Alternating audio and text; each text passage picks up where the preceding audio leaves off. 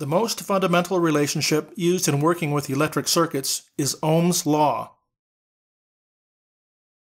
The German scientist Georg Simon Ohm was the first to publish this important law in 1827.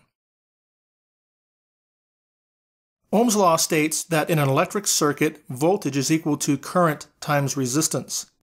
This relationship is stated mathematically as V equals I times R.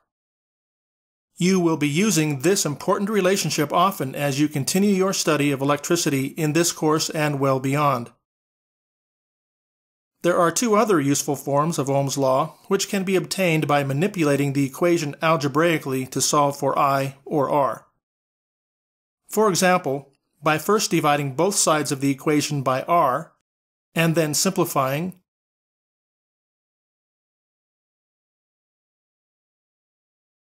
we arrive at one alternative form of Ohm's law, I equals V divided by R.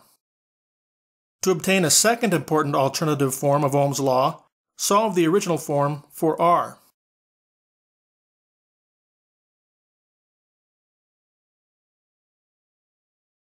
You must become an expert in applying all three forms of Ohm's law. They are all equivalent, and they express the relationship between voltage, current, and resistance in any electric circuit. Here are some examples to illustrate the application of Ohm's law.